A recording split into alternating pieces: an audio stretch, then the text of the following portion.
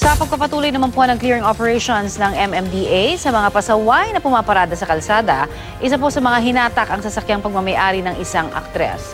At may ulat on the spot si Alan Gatos ng Super Radio DZBB. Alan, sino yan?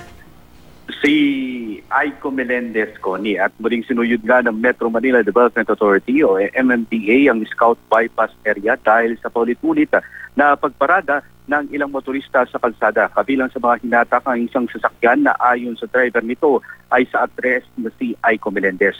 Kahit ang isang ginaganap na shooting ay nabulabog dahil sa isinagawang clearing operations ng MMDA. Ayon kay MMDA Operations Chief Bong Nebriha, hindi nila tatantanan ang scout area hanggat hindi nauubos ang mga lumalabag sa no parking zone na ipinatutupad ng ahensya. Layon kasi ng kanilang clearing operations na mapaluwag ang mga kalsada sa scout area para magamit na, ba, na alternatibong daanan ng mga motorista mula EDSA.